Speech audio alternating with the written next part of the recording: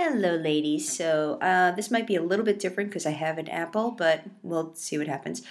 Um, when you are recording, um, you know, you're making a recording and you can start just, you know, going in. Let's see.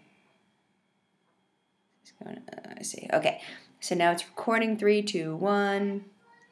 Make a little something, clicking around, blah, blah, blah. This is my screen. Look at how good I am, blah, blah, blah.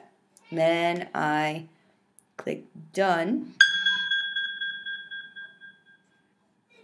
And then I can just save it as something, save it as a video file.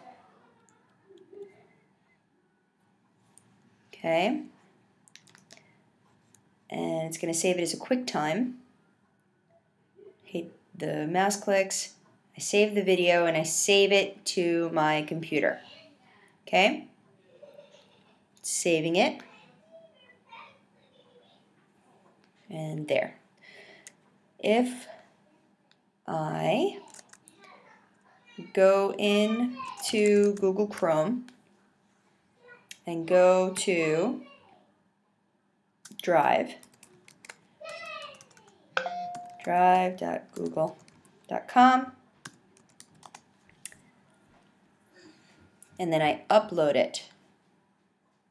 I'm going to click, I'm not sure if you have create or if you have new, but if I click new, file upload, okay, I can go in and take a look at everything that I've done and find that video that is just named, I don't even know what because I made it a real goofy one. There we go. I click on this and I open it. Okay, it's uploading right now and it should upload pretty quickly. Um, so really, depending on what you're doing. This is the new drive. Um, let's see. Oh, never mind.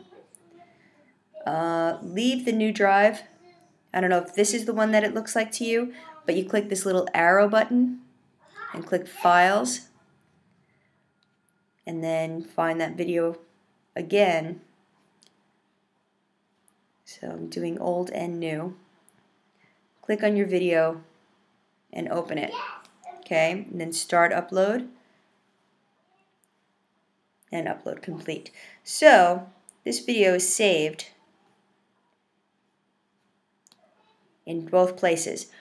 To get the link, you right click on it and share. Oops. Okay. And then get shareable link. This way that uh, East Rockaway can view anyone that has the link. I would actually change this to all people, public on the web can view it. Click on this and copy it and then you can paste it into your, um, you know, insert it, uh, insert the link into your presentation. So hopefully that helps. Let me know, and I'll talk to you soon.